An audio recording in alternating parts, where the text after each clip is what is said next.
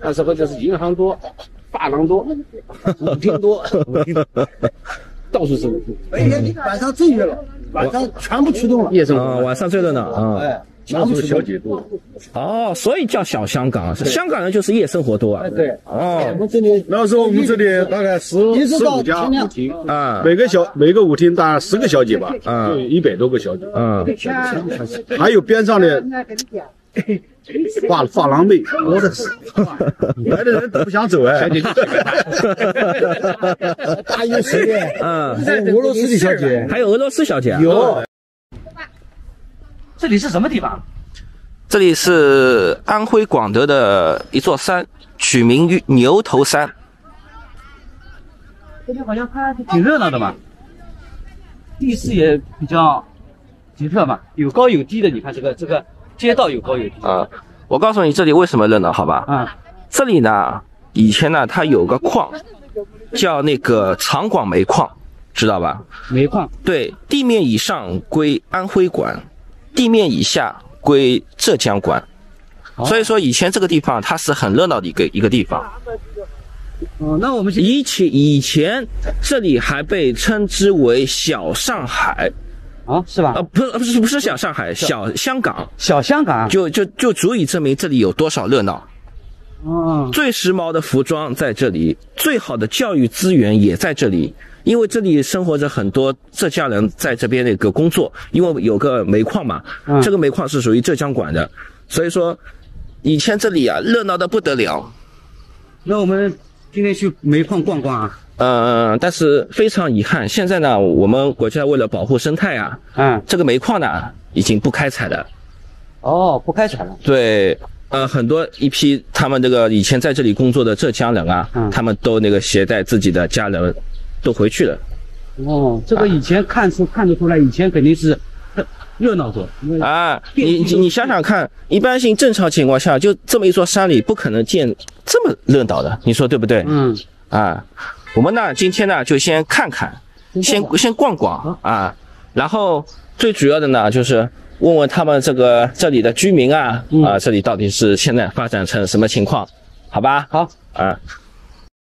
以前这里号称小香港啊，有没有这回事情啊？有啊啊，有正宗的小香港。正正宗小香港，号称小香港就意味着以前这里很热闹，哎对不对？几万人在这里。啊这里几万人，这里光光舞厅啊，二十多家，光舞厅就有二十多家，银行七家哎，在这里抢钱圈钱。抢钱那个浙江和安徽的银行总共在这里有七家，七家，七家银行。这么厉害。哎，这个地方。那有舞厅的话，意味着还有小姐的？有啊，有啊。小姐啊，啊。发廊从这边到美容厅从下面到上面一条街。全部是，三不管地带。在哪里啊？就是。那个上面一条街，从上面到这么热闹？哎，他为什么这里这么热闹呢？这个多嘛啊？这个地方是三城交界是个公司集团在这里嘛，啊，这里光长虹公司有七呃六万五千多人在这里赚的，六万五千多人，再再加上我们我们当地的，当地的然后这边主要是挖煤，那时候开放了挖煤，嗯，矿嘛，煤矿，这个煤矿是不是叫长广煤矿？对，长广长广煤矿，长广煤矿，是长广煤矿，你知道吗？他是制长广学校，啊。长广大学校，啊。你懂吗？嗯，你还不晓得啊？这个这个老师傅你给他讲解，叫他给你讲解，他他他很他很懂的了那我知道啊，这长广工人，懂吧？他元老，啊。啊，他相当于那个程咬金。他以前老搞小姐的，现在现在还搞不搞？大概现在还搞不搞？搞不的？哥他说你以前都是总是搞小姐，搞也不搞了，老了。老了。他热热闹主要原因是是不是就是有个煤矿？煤矿它是长广煤煤煤矿，矿不用嘛但是，啊煤矿都有它。的工人是全来自全国二十二个省市的，哦，各个地方的人都有。军人、转业的、哦复员的，嗯全部都有。然后呢，我们当地的呢就开小煤窑，嗯小煤窑也很多，到处挖煤啊。附近的老百姓也有钱，嗯嗯长广的工人也有钱，就这样的。那时候就来圈钱。为什么开这么多银行？他他长广的银行就是嗯国有公司的，他承担他有工商银行，他自己有工商银行，然后还有还有新怀的信用社、农行，嗯，在这个这个安徽的什么中行，什么都来了，到这里来就就去抢钱。那时候就是讲存钱就是一分的利息，你想过没有？就是先给利息后存钱。先给利息后存钱。对，你这钱存我的银行里面，给我利息先给你。老公那以证明以前以前这里这里的人啊也赚得到钱，才赚的钱。嗯，那时候我们四面八方人都集中到这里来，嗯，挣钱嘛。嗯，当当时这里头的医院，你是看到那里有个医院嘛？啊这医院比广德广德县医院和长兴县医院都好，专家特别多。都要好对，它它它是第四级二级医院的，哦第。四级机构的。那么这么繁华的这个日子是那么什么现在好像就没没萧条的为什么是浙江撤走了？